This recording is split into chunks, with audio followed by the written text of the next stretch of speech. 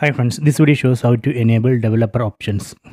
Open settings, tap on the settings app icon. Then go down, then select about phone. Then select version. So here we can see uh, build number. On build number, we need to tap seven times. One, two, three, four, five, six, seven. You are now a developer. You can see the message here then go back. Then again go back. Then then select system tap on system. Here we can see developer options. Tap on that. So these are the developer options.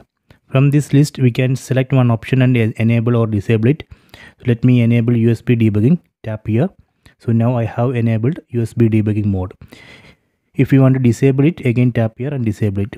If you want to disable developer options completely here we can disable that. Tap here and disable developer options. Then see we need to restart your device to change these settings. So we can restart it. Okay. So this way we can enable or disable developer options. So please check it